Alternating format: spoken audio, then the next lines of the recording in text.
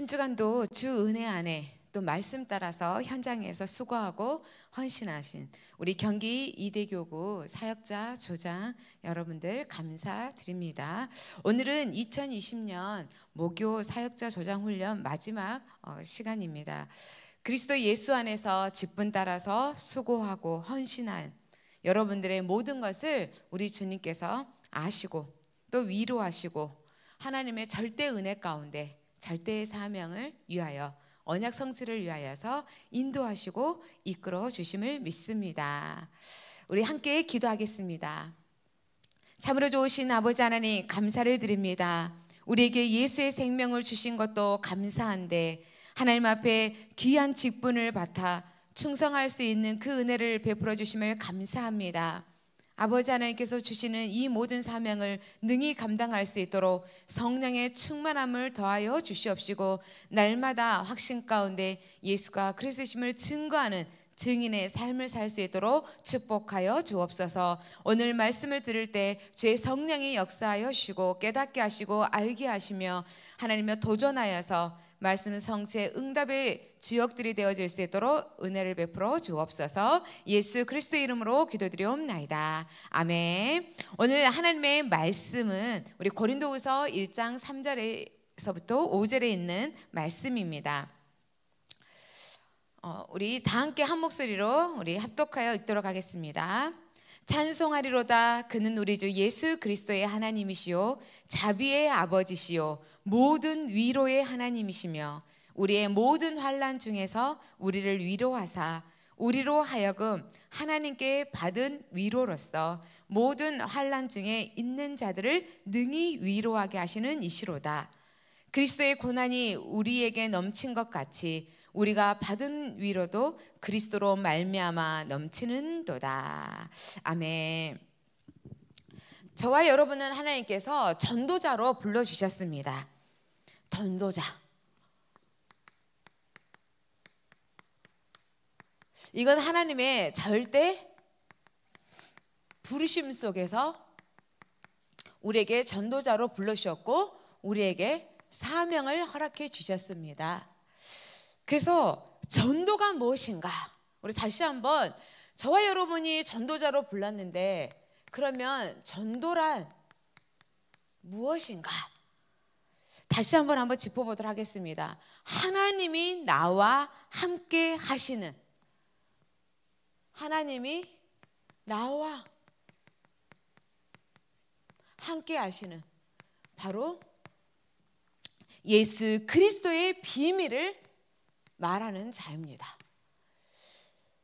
그리고 또 전도란 무엇인가?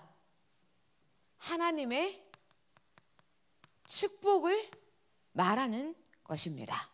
세 번째는 전도는 우리의 모든 삶 현장 속에서 보이는 것입니다.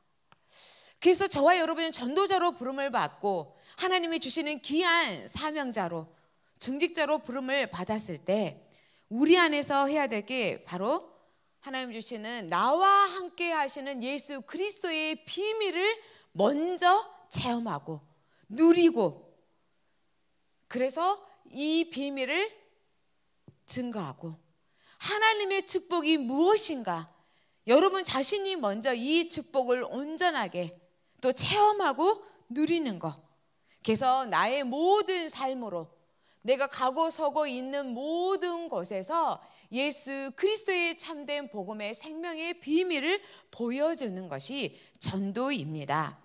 그래서 그리스도 예수 안에서 우리가 그리스도 안에서 있는 여러 가지 문제와 갈등과 우리 안에 일어나는 일들은 하나님께서 왜 허락하시느냐? 이걸 통하여서 하나님의 유익을 얻도록 하시기 위함입니다.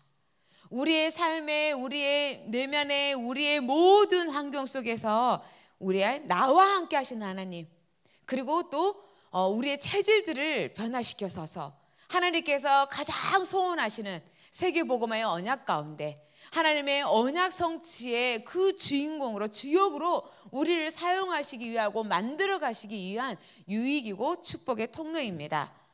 그래서 이걸 가지고 뭐 하느냐? 여러분 주변에 있는 함께하고 있는 자들, 함께하고 있는 자들에게 우리 안에서 주셨던 모든 것들을 다시 한번 이 축복을 누릴 수 있고 보여줄 수 있는 증인으로 세우시기 위함입니다.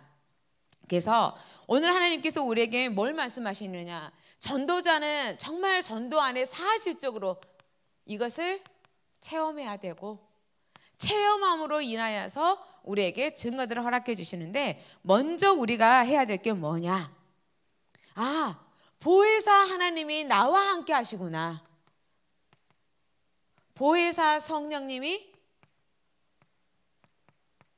함께 하시는 이 축복의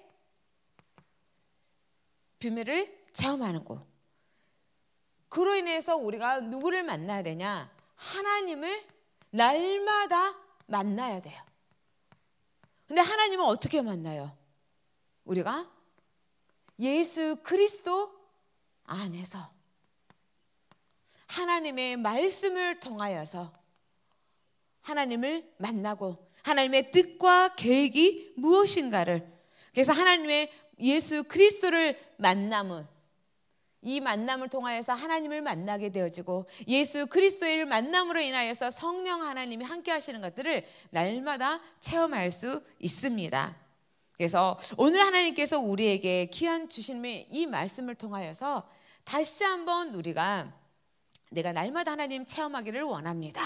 라고 고백하시기 바랍니다. 그래서 신앙생활의 기준, 직분자의 기준, 한번 우리가 생각해 보면요. 하나님이 주시는 이 직분, 기준이 무엇인가? 이 기준은 우리, 저와 여러분이 아는 것처럼 오직 하나님 중심으로 살아가는 것입니다. 그러면서 살아 역사하시는 하나님의 말씀 중심으로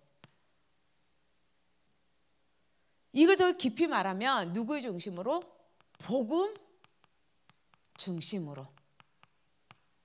그래서 하나님께서는 하나님의 중심으로 살아갈 수 있도록 하나님의 말씀 안에 살아갈 수 있도록 복음 중심으로 살아갈 수 있도록 우리에게 교회를 세워 주시고 이 교회를 통하여서 여러분들에게 직분을 허락하여 주시고 하나님께서 이 직분을 통하여서 각자 맞는 바로 사명을 허락해 주셨습니다.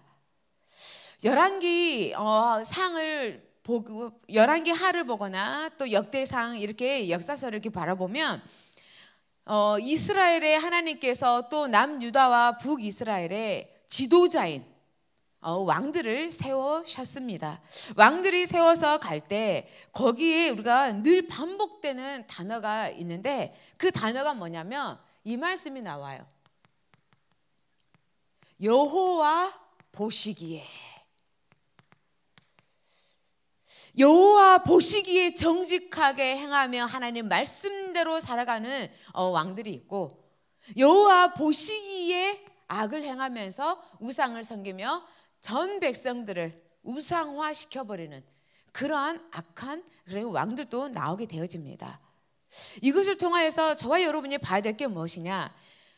우리 안에서 신앙의 또 직분의 우리의 모든 삶의 기준은 여호와 보시기에 합한 자들로 여호와 하나님께서 인정하시는 자로 쓰임 받아야 된다는 것입니다. 그래서 이 말씀을 묵상하면서 어, 제 자신에게 또 하나님 앞에서 이런 질문을 했어요. 나 자신은 여호와 보시기에 어떤 목사인가? 그렇다면 우리 사랑하는 사역자 여러분들 나는 여호와 하나님 보시기에 어떤 구역장이고 어떤 저장이고 어떤 사역자인가? 조금 인정해주면 교만해지고 인정받지 못해지면 좌절되어지고 시험당하고 알아주면 알아주지 않으면 이 차원이 아니라 여호와 하나님이 보시기에 나는 또 어떤 마음과 어떤 자세로 사역하고 있는가? 또 나는 여호와 보시기에 주신 현장을 어떻게 돌아보고 있는가? 나에게 주신 이 직분을 여호와 보시기에 두렵고 떨림으로 하나님 앞에서 묻고 감당하며 나아가고 있는가? 여호와 보시기에 여러분들의 주어진 모든 삶의 현장 속에서 어떻게 행동하고 있고 또 어떻게 전도자의 향기를 나타나서 하나님의 자랑, 예수 그리스도만 높이고 있는가? 그래서 우리가 신앙생활 또 하나님 주신 이 직분을 감당할 때 착각하면 안 되어져요. 절대로 착각하지 말아야 될 게 무엇이냐? 아, 나 중심. 아닙니다. 아, 사람 인정. 사람에게 인정받기 위하여? 아닙니다. 열심도 아닙니다. 그리고 일 중심도 아닙니다.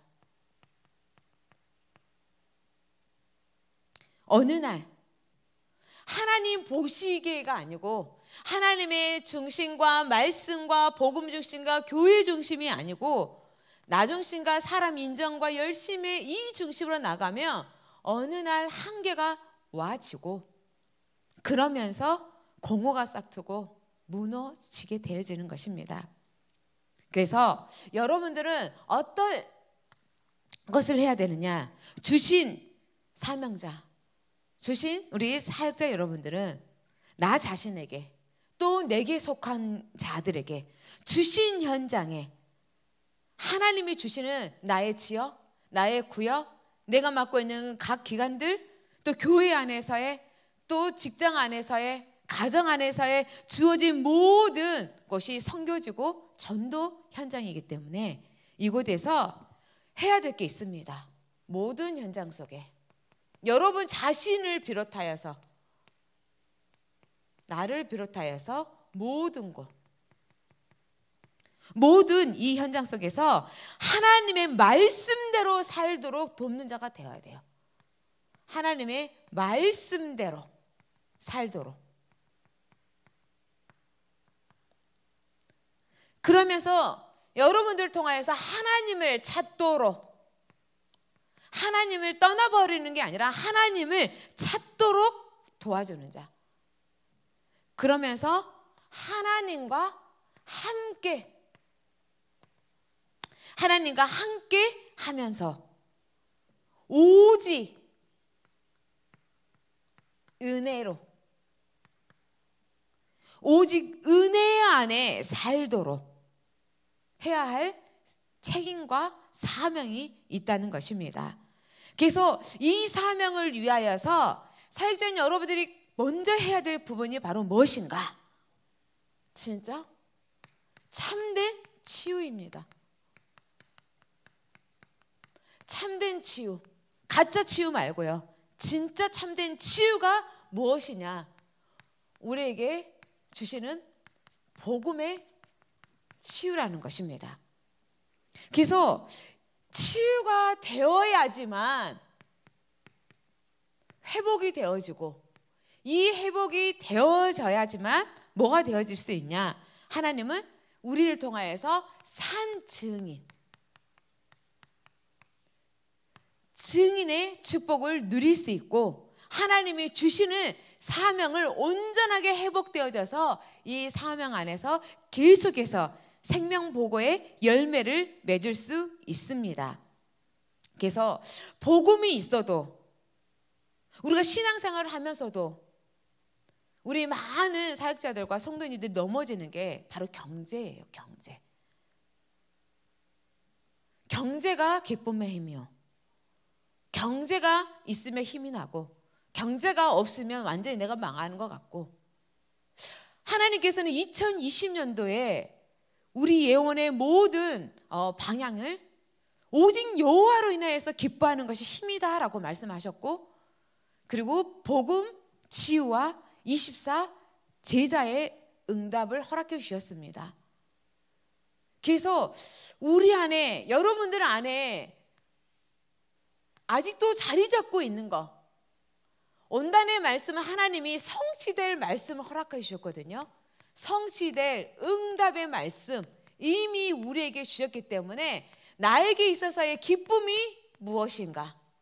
힘이 무엇인가? 우리에게 있어서 이 복음 치유와 24, 이 제자라는 이 축복을 허락해 주시고 우리 안에서 있는 크고 작은 모든 문제들, 사건들을 통하여서 우리를 만들어 가고 있습니다. 세상에 원하는 기쁨이 아니라 하나님의 형상대로 지음받고 예수의 생명을 가진 여러분들에게 있어서 가장 기쁨이 무엇이냐? 다른 것이 아니라 여호와 하나님. 결국은 하나님의 말씀을 통하여서 기쁨이 되어야 되고 이 하나님의 말씀이 살아 있음으로 인하여서 우리를 이끌어가는 원동력이 되어짐으로 힘이 되어진다는 거예요. 치유가 되어지지 아니하면 계속해서 똑같은 문제 속에서 넘어질 수밖에 없고 또 그 사이클이 계속해서 반복되어집니다. 그래서 먼저 치유가 일어나야 회복이 되어지고 회복이 되어져야 증인으로 서는 것입니다. 그래서 다락방 10년, 20년에도 훈련을 다 받아도 예수는 그리스도 모든 문제 해결자다라고 고백을 하면서도 우리 안에 있는 기쁨, 내가 원하는 힘, 진짜 복음의 치유, 이게 말씀 안에서 언약 안에서 안 되어지면 다시 넘어지고 예 체질, 예 습관이 다시 돌아갑니다. 주기적으로. 그래서 하나님은 세계 복음화의 언약의 주인공으로 우리를 이미 부르셨고 마태복음 28장에 있는 말씀처럼 18절 20절에 있는 말씀처럼 이미 땅 끝까지 이르러 증인되어지는 그 축복을 주셨고 사도행전 1장 8절에 하나님께서 어, 우리에게 모든 만민에게도 복음을 증가할 수 있는 우리에게 완전한 응답을 이미 주셨습니다. 그래서 이 언약 안에서 우리가 살아가는데 정말 이것을 누리고 이 삶의 언약의 성취 안에서 누리면서 기쁨으로 갈 거냐? 아니면 고생하면서 갈 거냐? 여러분들이 말씀을 붙잡고 강단에서 예수가 그리스도 모든 문제 해결 끝났다라고 선포 할 때 여러분들은 아멘 하시고 이 예수가 그리스도라는 이 언약의 말씀을 한마디로 말하면 삶의 여러분들의 모든 현장 속에서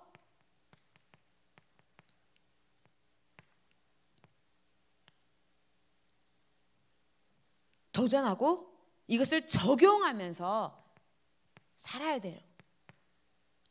예수는 그리스도 모든 문제 해결 끝. 그러기 위하여서 여러분들이 먼저 알아야 될 게 무엇이냐? 여러분들에게 있는 바로 어, 치유. 우리 주변에 우리 자신들의 끊임없이 찾아오는 우리 안에 있는 그 수많은 문제들. 답답하고 우울하며 또 잘못된 습관과 체질 속에서 138했다가 다시 예틀로 가버리는 우리의 이것들을 통하여서 하나님은 우리에게 어, 말씀하고 있습니다. 아, 예수는 그리스도 모든 삶의 현장 속에 내가 내 아이 문제 속에서 어떻게 할 거냐? 예수가 그리스도 되려면 먼저 창세기 3장을 인정하셔야 돼요. 하나님, 내 내면 속에 하나님 내 영혼 속에 내 정신과 내 생각과 내 마음과 나의 삶과 나의 체질과 나의 모든 곳에서 하나님 격동하고 요동하고 흔들리고 우리 안에서 잡생각이 일어나고 하나님 불신앙이 일어나고 내 성격의 미움과 여러 가지의 갈등이 일어나는 모든 것이 하나님 장세기 3장입니다라고 인정해야 이 그리스도가 온전해질 수 있다는 거예요. 입술로만 예수는 그리스도 모든 제결 것이 아니라 창세기 3장에 여러분들에게 주어진 모든 곳에 우리가 세상에 걷고 다니면서 바라보는 모든 현장 만남에 되어지는 모든 것, 이 세상의 모든 것들이 결국 창세기 3장이다라는 것을 하나님 앞에 사실적으로 하나님의 말씀의 언약의 말씀을 붙잡고 이 부분이 되어야 된다는 거예요. 이게 바로 무슨 치유냐? 근원적인 치유잖아요. 근원적 치유. 자녀를 보아도 내 속에서 일어나는 감정, 이게 또 무엇이냐? 창세 3장이랄 때 내면적 치유. 아주 오래된 거. 오래돼서 나도 할 수 없는 거. 상처와 갈등과 무너지는 거. 아담으로부터 시작돼서 지금까지 오고 오래되고 그리고 무너진 거. 이 내면의 치유. 이 내면의 치유 속에서 창세기 3장을 인정해야 돼요. 그러면서 또 무엇을 인정할 거냐? 하나님, 나는 할 수 없습니다. 나는 할 수 없다. 할 수 없다라고 인정을 하면서 뭐를 인정해야 되냐? 창세기 3장 15절의 말씀. 여자의 후손. 하나님, 나는 할 수 없지만 내 성격에 우리 가정에 우리 불신 현장에 하나님 나에게 주어진 모든 감정과 여러 가지의 모든 것에서 나는 할 수 없지만 약속하신 여자의 후손 오직 여자의 후손 우리에게 보내신 거 믿습니다. 라고 고백하셔야 돼요. 우리가 중직자 대학원에 어, 그 어, 이렇게 메시지를 보셨을 거예요. 거기서 볼 때 어떤 영상이 나왔냐? 중직자 이렇게 어 이렇게 메시지에서 상위 엘리트 상위 엘리트에 있는 사람들이 그 집단들이 정신적인 문제, 조울증과 우울증과 여러 가지의 어, 강박증과 수많은 문제들 속에서 고민하다. 약 먹고 허탈함 속에서 결국은 멸망길로 갈 수밖에 없는 그 것들을 현실을 보았습니다. 비록 그분들에게는 그리스도인 그 영적인 것을 알지 못하기 때문에 넘어져도 복음을 알고 예수 그리스도 안에서 답이 났다고 하는데도 우리 안에서 끊임없이 오는 근원적, 내면적 습관과 살면서 치유가 되어야 돼요. 그래서 하나님 여자의 우선이신 예수 그리스도를 내가 믿습니다. 날마다 여러분들이 또 어떤 말을 해야 되냐? 예수가 그리스도라는 증거로 우리에게 주시는 피의 언약. 이 피의 언약을 붙잡으셔야 돼요. 이 피의 언약이 우리 안에 하나님께서 출애굽기 3장 18절 출애굽기 우리 12장 어, 13절 피 바르는 날, 피 바를 때 빠져나왔거든요. 하나님, 나는 할수 없지만 여자의 우선 대신 예수 그리스도 그 예수 그리스도의 하나님 십자가의 그 피를 하나님 나에 있는 모든 것에 사실적으로 구체적인 그곳에 그 문제 가운데 바르셔야 합니다. 선포하셔야 합니다. 이럴 때 무엇이 있냐? 약속의 이 말씀을 붙잡고 선포하면서 우리에게 이사야 7장 14절에 있는 말씀. 임마누엘의 이 언약의 말씀. 이스라엘 백성들의 피 발라서 애굽에서 출애굽하고 노예 생활에서 끝났고 하나님의 약속을 따라서 강야의 가나안 땅을 향해서 나아가고 있으면서도 불구하고 가지고 있는 옛 체질 가지고 있는 예 습관, 늘 세상적인 거, 먹을 것을 위하여서 다시 돌아가겠다. 저 여러분도 하나님의 언약 안에서 사명자로 부름받고 직분을 주셨는데, 아, 내가 지금 너무 경제가 어려워. 내가 너무 내가 힘들어. 아, 다시 내가, 다시 내가 나에게 주신 거 다 내려놓고 돈 버는 거, 먹고 사는 거 먼저라고 가는 것처럼 이스라엘 백성들이 나아가는 것처럼 우리의 삶이 피 언약 발라도 늘 우리의 습관과 체질이 나옵니다. 넘어집니다. 감당하고 싶은데 내 마음대로 안 되어져요. 그래서 하나님께서 우리에게 임만을 하시겠다는 거예요. 하나님, 나의 우리의 연약함을 아시고 임마누엘로 우리와 함께 하시겠다고 약속하신 그 언약의 말씀을 믿습니다. 그게 바로 성령으로 인하여 우리 안에 깨닫게 하시고 알게 하시고 그리스도를 선포하는 증인의 삶을 살 수 있도록 역사하시고 말씀을 주셔서 우리 안에 하나님은 임마누엘 함께 하셔서 영원토록 지켜주시고 하는 나라 갈 때까지도 지켜주시고 이걸 구체적으로 여러분들이 적용하시고 여기 안에 나의 삶 속에 선포하셔야 돼요. 그러면서 이걸로 끝나는 게 아니라 다시 한번 마태복음 1장 21절에 하나님 우리를 구원할 자 예수 그리스도 그래서 예수 그리스도의 그 이름 그 이름 앞에 흑암의 조주의 세력이 떠나가고 귀신의 세력이 떠나가고 모든 질병들이 떠나가고 그래서 예수 그리스도의 그 이름이 붙잡을 때 역사가 일어나는 것입니다. 이걸로 끝나는 것이 아니라 또 어디까지 가야 되냐? 요한복음 1장 12절에 있는 말씀처럼 영접하는 자, 영접 한마디로 말하면 주인을 바꾸는 거잖아요. 주인을 받고 하나님 나의 모든 환경 속에서 나의 문제 가운데서 내가 직분 안에서의 하나님의 모든 것들이 내가 하려고 하는 게 아니라 문제가 하려고 하는 게 저 사람이 하려고 하는 것이 아니라 갈등이 나의 주인이 아니라 모든 문제 해결하시는 예수님이 나의 주인이십니다. 그래서 날마다 주인을 바꿔야 돼요.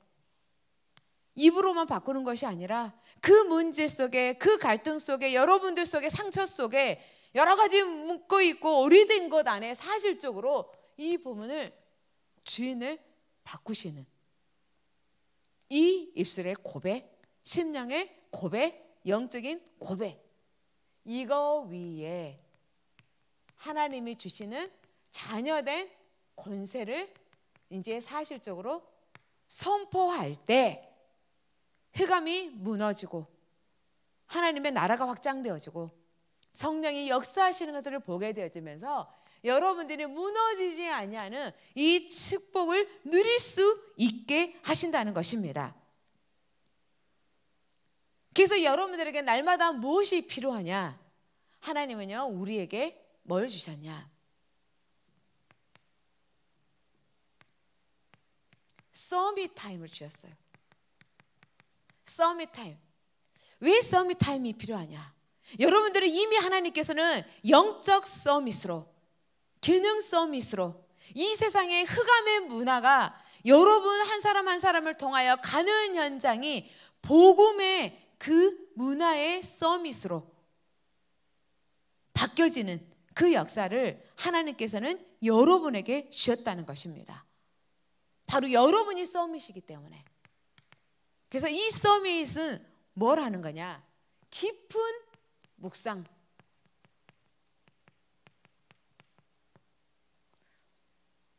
깊은 묵상의 시간으로 누구랑 소통하냐?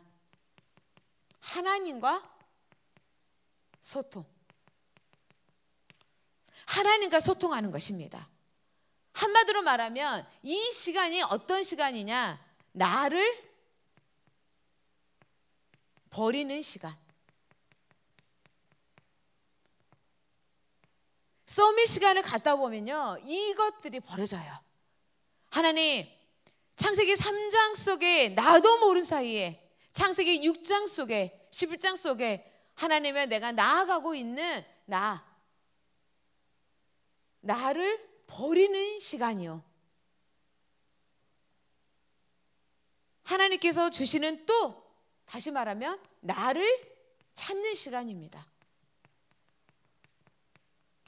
창세기 3장에 나를 버리고 나 중심을 버리고 세상의 물질 중심을 버리고 한 세상이 원하는 것들을 버리고 하나님 다시 한번 하나님을 만나면서 창세기 1장 27절에 올려 주신 27절 20절 회복의 시간 하나님의 자녀의 축복을 누리는 시간 하나님이 원하시는 사도행전 1장 1절 3절 8절을 붙잡는 시간으로 회복된 나 언약 성취를 위한 나를 찾는 시간입니다.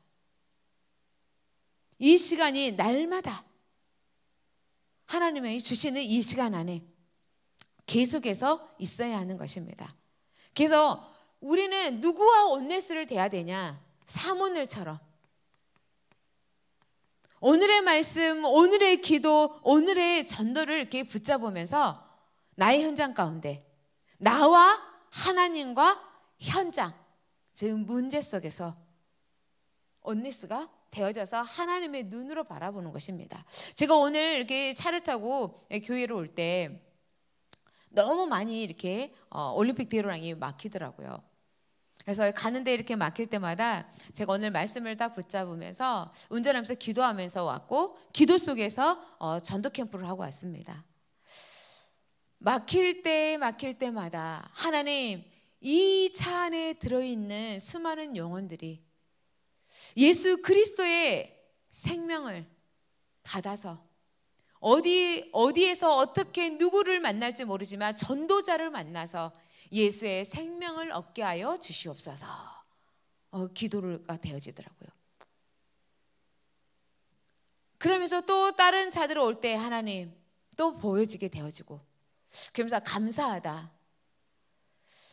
하나님 말씀 안에서 우리가 삶 오늘 언약의 말씀을 붙잡고 내가 보여지고 내가 처해 있고 내가 가는 곳 내가 만나지는 모든 것을 예수의 생명을 선포하고 예수 그리스도를 증거하고 이 지역과 이곳에 흘러가는 영적인 흑암의 그 흐름들을 깨뜨려 주시고 하나님 앞에 영광을 올려드릴 수 있는 그러한 영원한 축복을 누릴 수 있도록 어, 기도로 이렇게 전도 캠프를 했습니다. 걸어다닌 사람들을 차 안에서 이렇게 보면서 하나님 저 수많은 사람들이 신호등을 건너서 이렇게 가는 또 사람들이 하나님 이곳에 분명하고 하나님께서 구원받기로 선택된 영혼들이 있을 거고 오늘 이 시간이면 하나님 또 사라질 영혼들도 있을 거고 수많은 이 걸어다니는 사람 속에 원래 우리를 창조하신 하나님을 알게 하여 주옵시고 예수 그리스도를 만나게 하여 주옵소서. 이것도 사모늘이잖아요. 제가 오늘 하나님 앞에 이렇게 운전하고 오는 그 시간, 한 시간이라는 그 시간 안에 기도 속에서 하나님 말씀 붙잡고 기도하며 현장을 바라보며 캠프했습니다. 하나님께서는 전도자의 기도를 들으시고 인도하실 줄 믿습니다. 그래서 언약의 말씀 붙잡고 기도하 아침 저녁으로 우리가 이렇게 기도하다 보면 흑암의 모든 것들이 꺾여지고 우리의 의 체질이 꺾여지면서 복음에 참된 치유가 일어나게 되어집니다.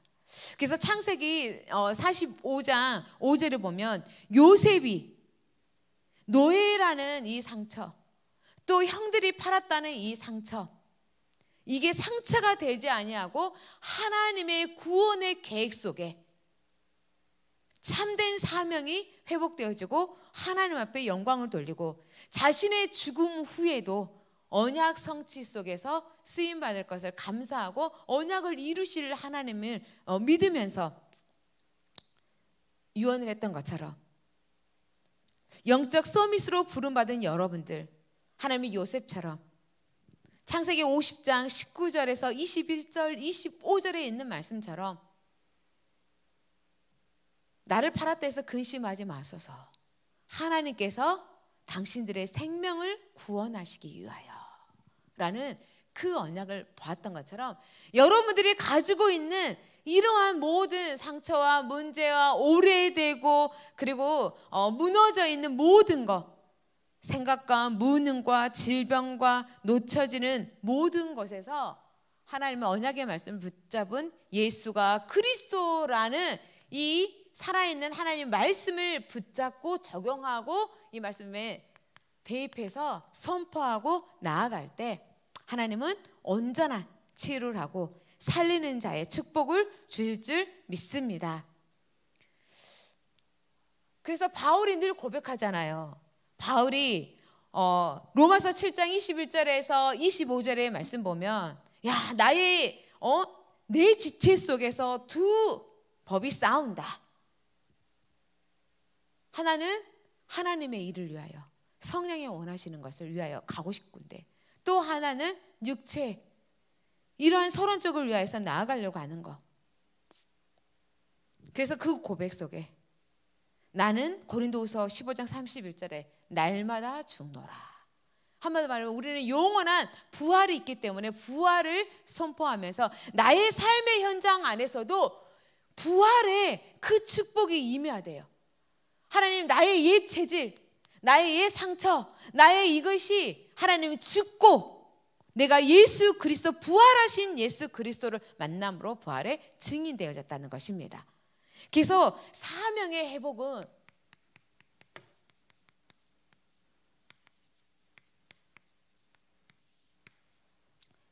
어떻게 되어졌냐?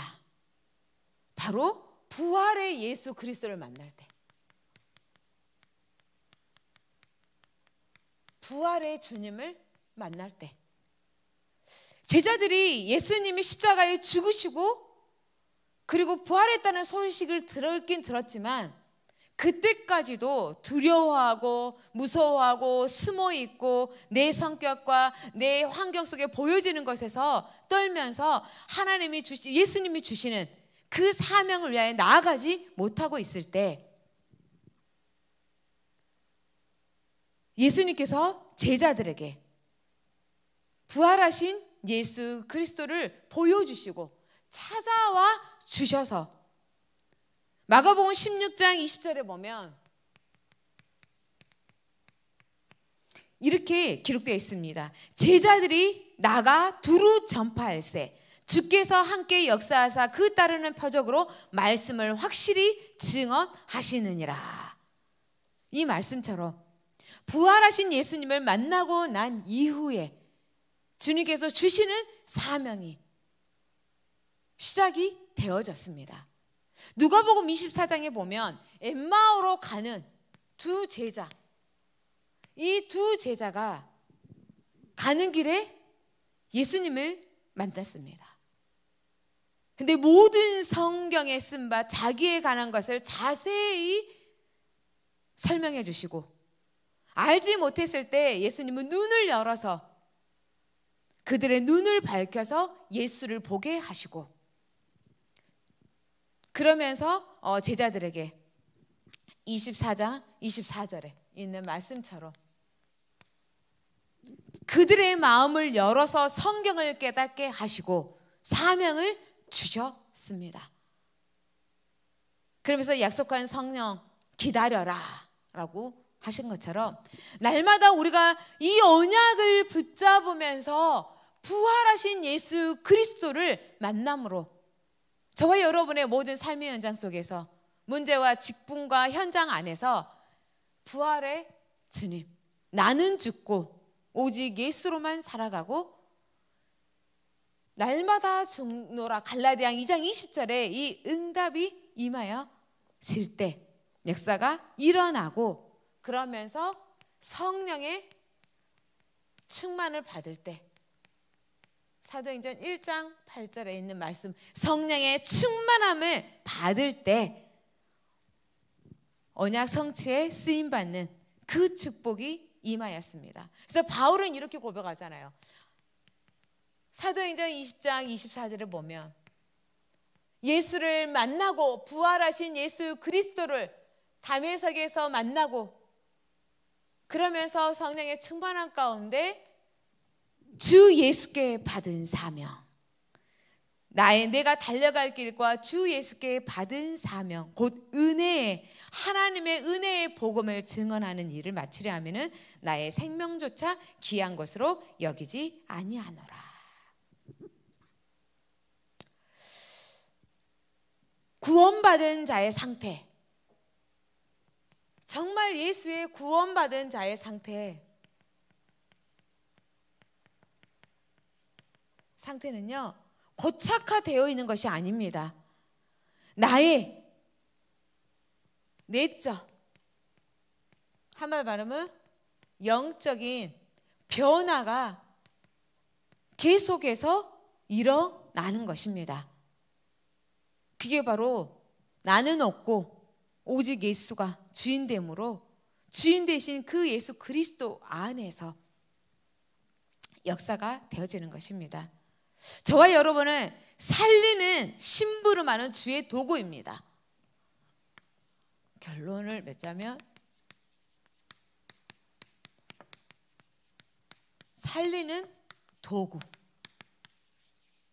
하나님은 저와 여러분의 모든 어, 과거, 현재, 미래를 통하여서 우리를 생명 살리는 전도의 미련한 방법, 여러분들이 가져왔던 모든 것들이 전도 속에서 쓰임 받는 도구. 그래서 생명을 살리고 영혼을 살리고 문제 속에 있는 성도들이 너무 많이 있잖아요. 지역에 내 주변에 아직 예수님을 모르는 불신자 영혼들이 너무 많고 연약해서 낙심된 자들이 너무 많고 또 반대로 사명자들도 너무 많고 이 사람들에게 증인의 축복을 하나님이 허락해 주셨습니다. 그렇다면 여러분들이 하나하나 체험하고 복음으로 체험해서 복음에 적용해서 그래서 증인의 삶을 살아라고 말씀하고 있습니다. 증인.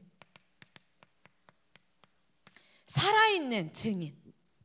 이럴 때 그대로 생명이 증거 되어집니다. 그래서 여러분들이 서밋 타임을 가짐으로 인하여 오늘의 말씀 속으로 오늘의 기도 속에서 하나님께서 열어주시는 모든 현장 속에 오늘의 전도의 이 응답의 증인으로 새롭게 시작하고 도전하셔야 합니다. 그래서 여러분들은 복음이 아닌 오직 복음, 예수가 아닌 오직 예수, 치유가 아닌 완전 복음의 치유로서. 그래서 내거 생각하지 말고 다른 동기 갖지 말고 복음 신앙하면서도 우리가 다른 동기, 틀린 동기 붙잡지 말고 하나님 나를 통하여서 오직 교회를 살리는 자, 오직 교회를 섬기는 자, 오직 내게 주신 현장을 살리고 만나는 사람들을 살리고 우리 지역, 우리 구역, 하나님, 나이 가락단 내 가정, 하나님, 그 살리는 증인 되어질 수 있도록 하나님, 내 안에 숨겨져 있고 보이지 않고 하나님, 지금 갈등하고 있는 수많은 것들을 하나하나 꺼내서 이 복음 앞에 인정하고 완전하신 그리스도 언약 안에 나아가서 증인 되어지기를 주님의 이름으로 축복드립니다. 이제 2020년도 얼마 남지 않았습니다. 한 달 이제 반이 남아 있는데 주신 언약의 말씀을 가지고 계속해서 하나님께서는 우리에게 복음의 하나님의 언약의 말씀 잡고 치유하라고 하셔요. 나는 원래 그래. 내 원래 성격. 아니요. 원래는 원래라는 것은 우리의 창세기 3장 속에 있던 것이지 원래는 창세기 1장 27절에 있는 말씀처럼 28절에 있는 말씀처럼 하나님의 형상대로 지음받아서 정복하고 다스리고 번성하고 축복하는 것입니다. 여러분 속에 있던 모든 것들을 여러분들의 성향까지도 복음의 성향으로 정복하시고 여러분들의 체질도 복음으로 정복하시고 영적 싸움 사시면서 사실적으로 언약, 내 문제, 내 직분 안에서 그리고 나에게 있는 갈등 속에서 또 모든 현장 속에서 응답받는 그 현장 속에서 적용하여서 오직 예수 그리스도로 답내는 절대 제자로 또 주신 사명을 감당하는 그래서 현장을 정복하고 하나님 보시기에. 그냥 축복을 누리는 24 제자로서 시작되어질 수 있는 2021년도가 되어질 수 있도록 이 2020년도에 주신 이 온단의 말씀을 붙잡으면서 끝까지 믿음의 선한 싸움을 싸워서 하나님 앞에 237을 살리고 우리의 다음 세대는 후대들을 살리고 여러분들에게 맡겨진 직분을 통하여서 지역을 살리고 교구를 살리는 귀한 응답이 임하기를 주님의 이름으로 축복드립니다. 기도하겠습니다. 하나님 감사합니다. 우리 안에 복음의 세트를 허락하여 주시고 이 복음의 세트 안에 아버지 하나님 참된 치유가 일어나야 하나님 이 치유 안에 회복이 되어지고 하나님이 주신 사명을 온전하게 회복되어져서 내 힘으로 하는 것이 아니라 내 안에 있는 그리스도로 말미암아 성령의 역사로 말미암아 하나님의 능력으로 하나님의 말씀 속에서 큰 확신을 가지고 초대교회 믿음의 증인들이 걸어갔던 그 길을 걸어갈 수 있습니다. 아버지 하나님, 2020년도에 우리에게 주신 직분, 우리에게 주시는 사역의 현장, 아버지 하나님 주시는 그 땅, 가정과 우리 개인과 아버지 하나님 모든 현장 속에서 참된 복음의 치유, 말씀을 사실적으로 아버지 하나님여 적용되어져서 그 말씀이 살아서 아버지 하나님 치유하시고 하나님 생각과 마음을 온전하게 붙잡으셔서 하나님의 24 제자로서 올인되어지고 하나님 보시기 합한 자들로 쓰임 받는 우리 어, 정말 경기 이대교구 사역자 조장들이 되게 하여 주시옵시고 하나님 끝까지 믿음의 선한 싸움 싸워 승리할 수 있도록 역사하여 주시옵소서. 날마다 구원의 감사 속에 직분 주신 것 감사하며 하나님 앞에서 맡겨진 모든 사역들을 능히 감당하여 하나님 앞에 영생의 면류관, 아버지 하나님 의의 면류관, 생명의 면류관을 얻어 누릴 수 있도록 인도하여 주옵소서. 우리 삶의 주인 되시고 오늘도 우리와 함께 하시고 모든 문제를 해결해 주시는 예수 그리스도 이름 받들어 기도드리옵나이다. 아멘.